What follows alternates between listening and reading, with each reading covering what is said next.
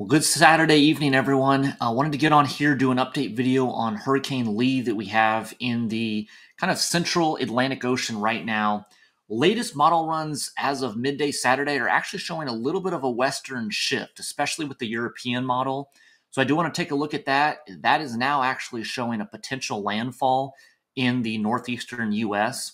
So, as much as this is certainly right now out over open waters and over the coming days will very likely and almost surely stay out over the Atlantic. It is more and more of a possibility that possibly maybe a week to eight days from now, we could see Hurricane Lee moving more north, picking up speed, and possibly brushing the northeastern U.S. So we do have to make sure that we're not letting our guard down. So I do want to take a look at what Lee looks like right now, as well as those updated model runs. So this is the infrared satellite of Hurricane Lee right now certainly did struggle a lot yesterday, significantly weakened from a category five all the way down to a kind of a lower end category three hurricane. That's where Lee clocks in right now. We have winds of about 115 miles an hour. Uh, we can see kind of the leeward islands right here on the bottom left. And then we do have some of these more cooler, larger cloud tops here, a little bit more of that reinvigoration kind of right there at the start. Uh, but again, still no eye. It, it's still struggling with the environment. There's some shear coming out of the southwest right now, and that has caused the weakening that we've seen. Although we could see some strengthening as Lee generally over the coming days continues to move off to the west northwest here. Um, so that's what we're watching right now. Again, certainly still a, a very strong hurricane, but right now no no impacts to land being felt.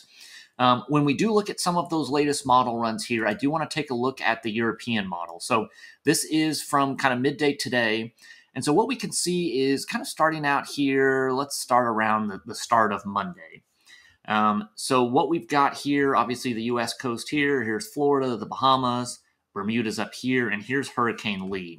So as we move through the early part of this next work week, what we're going to see is somewhere probably around probably Wednesday or so, we're going to start to see Hurricane Lee start to move more almost due north here.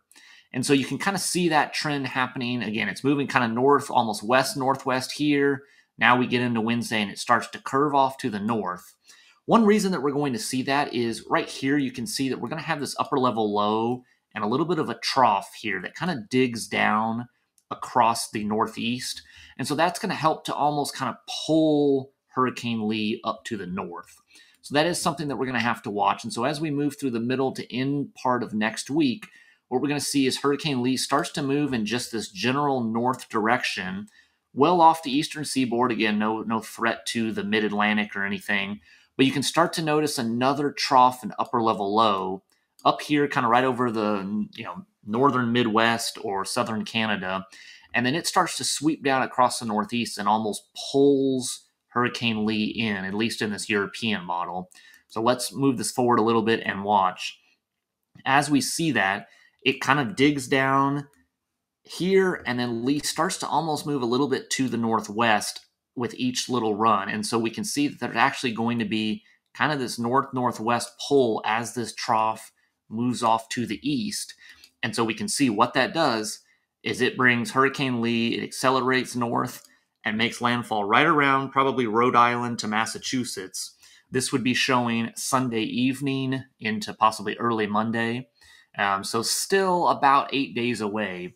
But this is something that we've seen a shift in a couple of the models, and especially the European, showing this real strong, deep digging trough and kind of tending to pull Hurricane Lee more to the west and up in to the Northeast US. So, certainly we're going to have to watch a lot of the previous models, and still a lot of the models kind of show this general kind of moving back off to the Northeast, not the same trough here that pulls it in.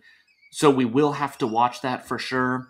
Um, but again, I think we, we, we could have a potential threat here for the northeastern U.S. I do want to take a look at at a different model here what we can see here, this is an ensemble model of the GFS. So this is another weather model. It doesn't just use one run, but multiple, and then kind of puts it together to form an average solution. So what we can see here, again, general track is all the same here, early to midweek, moves northwest, and then starts to move north. But what you can see is a little different here is that the average of the models is a little bit further out here to the east. It's not quite as far to the west, so that as it moves north, more likely it moves towards the Canadian Maritimes, the Nova Scotia area, rather than almost a little bit more back to the west and hitting the northeast US. So, certainly no guarantee that we're going to see any northeast US impacts. But again, I think whenever we're seeing one model that it is fairly accurate. And the European model handled Hurricane Sandy back in 2012. A lot of the other models were showing, oh, it's going to curve out into the ocean. And the European was showing, no, it's actually going to get pulled in to the northeastern U.S. So, again, no guarantee. Uh, you know, we don't need to panic or evacuate or something like that. But I think we do want to pay very close attention if you live in the Northeast, especially if you live um, in even the you know Nova Scotia area.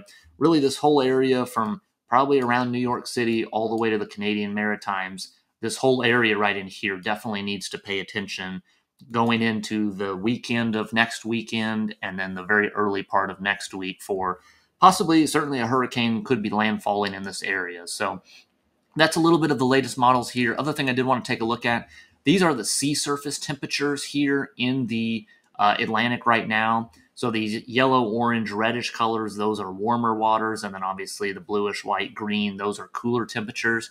So what we can see is there is this little pocket kind of right here in the eastern North Atlantic, or I guess western North Atlantic, that would be. Um, and we've got these cooler sea surface temperatures. This is where Hurricane Franklin about two weeks ago and Hurricane Idalia after Hurricane Idalia kind of came off the southeastern U.S. coast both of those systems really kind of churned up the water. So these waters aren't quite as warm. Um, so that will be something that may play a factor in Hurricane Lee. Again, Hurricane Lee is down about here right now. It's going to move again this way and then start to move up here. So it will be interacting likely with these cooler waters.